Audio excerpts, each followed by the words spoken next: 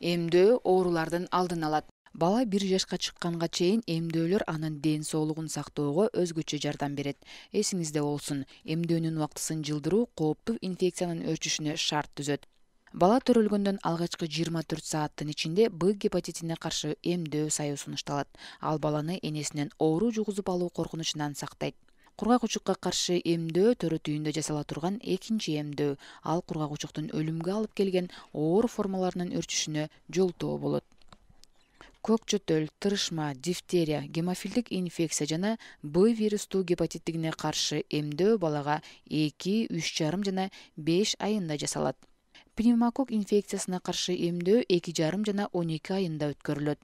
Пневмококк организмде ириңдөө сезгенүү процесси катары өзүн көрсөткөн топ оорулардын себепкери. Полиомиелитке каршы эмдөө эки үч жарым жана беш айында жасалат. Полиомиелит борбордук нерв системасын жабыркатуучу курч вирустук инфекциялык оору. Кызылча эпидемиялык паротит жана кызамыкка каршы эмдөө бала бир жашка чыкканда жасалат бала эки жашында көк чөтөлгө дифтерия жана тырышма илдеттерине каршы алгачкы эмдөө алат. Алты жашында планга ылайык дифтерия жана тырышма ошондой эле кызылча эпидемиялык паротит жана кызамыкка каршы экинчи эмдөө алынат.